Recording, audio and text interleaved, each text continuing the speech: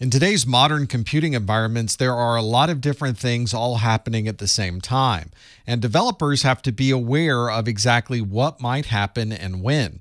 You do have problems that can occur, though, if multiple things are occurring simultaneously and you weren't expecting them to occur simultaneously. This is called a race condition.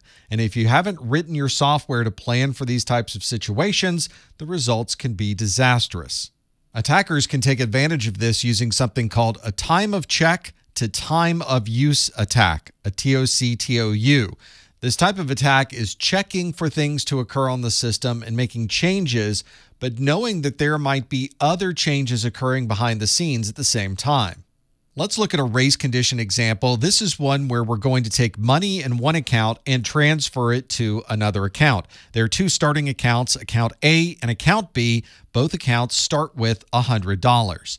We also have user 1 and user 2. These will both be performing these transactions at close to the same time. We'll start with user one, who's going to perform a check balance to see what the current balance is in both of these accounts. And both account A and account B both have $100. Just after that, user two also performs a check balance and also sees that account A is $100 and account B has $100 as well. Now user 1 is going to add $50 to account B, which means that account A remains at $100, and we've added $50 to account B, it increases to $150.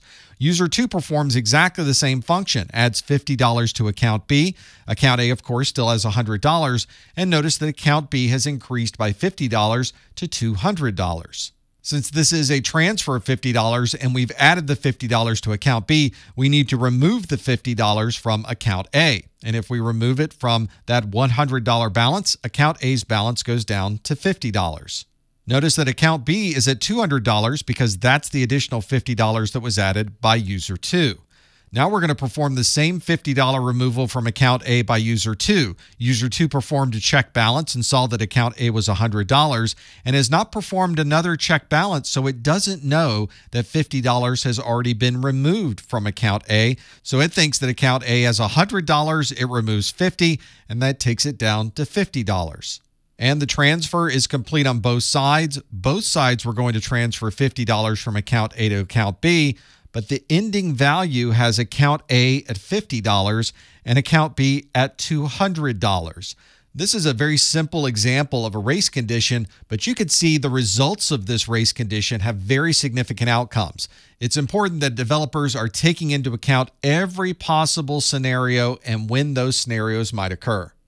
An example of a race condition that occurred in space was in January of 2004 in the Mars rover Spirit. The Spirit rover is designed to reboot its operating system whenever it runs into a problem that it can't resolve. And in fact, it found a problem with the file system, so it rebooted itself because of that, but found that the file system was corrupted during the boot process and so it rebooted itself again. So it found itself in a reboot loop because of this race condition. They ultimately told the rover to reboot into a limited safe mode so that they could repair the file system, reboot the system, and get back up and running. Another race condition occurred in 2003 from the GE Energy Management System that was used to monitor electrical lines. Three power lines failed at the same time, but due to a race condition, a limited number of alerts was shown to technicians. This got quickly out of hand and caused the Northeast blackout of 2003. It took a week or two for power to be restored, and it affected 10 million people in Ontario and 45 million people in the Northeast United States. And a deadly race condition occurred with a radiation therapy machine in the 1980s that used software as a security mechanism. If operators changed the software settings too quickly, the software interlocks failed, and that caused a race condition that had 100 times the normal dose of radiation. This resulted in six patients being injured and three patients dying.